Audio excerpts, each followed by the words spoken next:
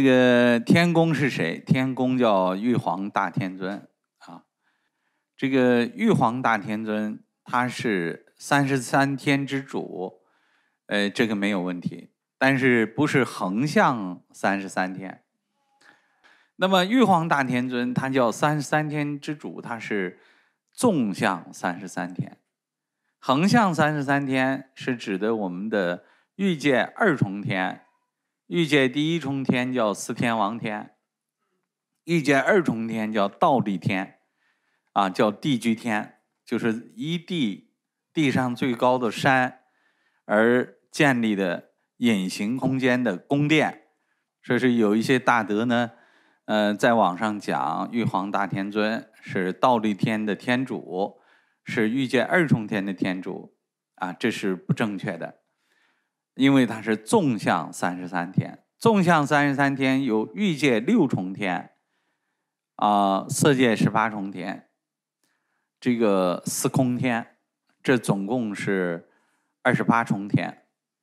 二十八重天之上的宇宙时空呢，呃，叫四圣景，又叫四种性天，往上有四个层次的，这个我们叫圣居土，阿罗汉。这个声闻缘觉菩萨啊居住的这个地方，最高的天第三十三天叫大罗天，是所有的成佛究竟圆满了自己的金刚法报化三身的所有的圣者居住的地方。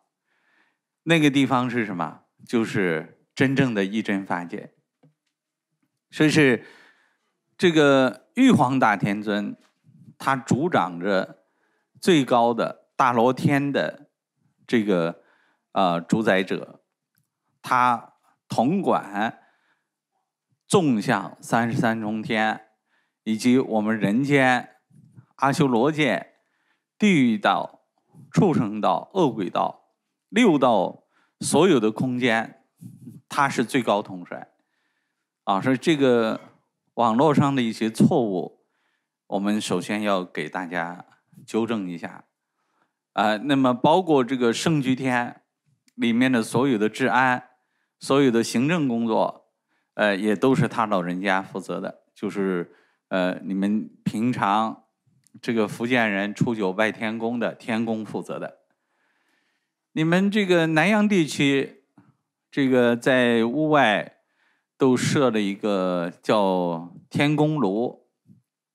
啊，我看了一下，基本上这个这是一个误会，啊，我看了都基本上是叫天官啊，他这个牌上面写的天官大帝啊，那这个是不是供的天宫，供的玉皇大天尊？这个不是，这是供的天官。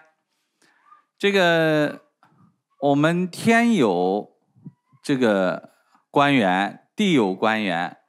水有官员，叫天地水三官大帝，啊，这个到了菩萨以上的水平，在道门中称为天尊，啊，那么神明界的最高的神明叫大帝，啊，说三官大帝还是神这个层次的，它不是圣这个层次的，圣这个层次是指的大罗金仙。就是已经相当于佛门的阿罗汉、菩萨，这个佛这样的层次的，这叫天尊，啊，叫天人尊，啊，释迦牟尼有个佛号叫世尊，啊，这个，啊，所以又叫天人师，啊，这是这样的一个称号。所以是大家在家里，这个给这个天官上的香，基本上是供的天官。这是在中国汉朝的时候，张道陵祖师创立了有系统的关于中华道统的教育的这个学校。那么，鼓励大家供奉天地水三官。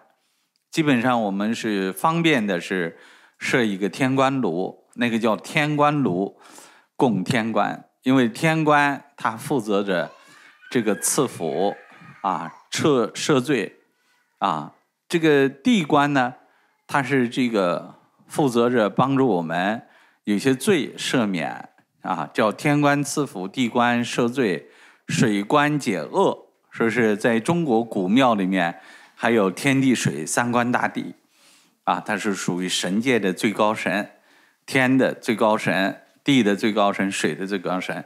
那这跟这个玉皇大天尊不是同一个人，啊，不是同一个人。就像我们的总统跟总理不是同一个人，啊，这个要搞清楚啊。先给大家普及一下这个科技水平，啊，咱们这个祖根文化这个部分。这个我们为什么要在天宫诞拜天公啊？拜玉皇大天尊啊？这个是我们一种感恩啊。我们叫天父地母啊。那么天上的这个最高的神明，他的福德很厚，所以才执掌这个位置，坐这个位置，说值得我们敬仰啊。我们中国传统文化叫。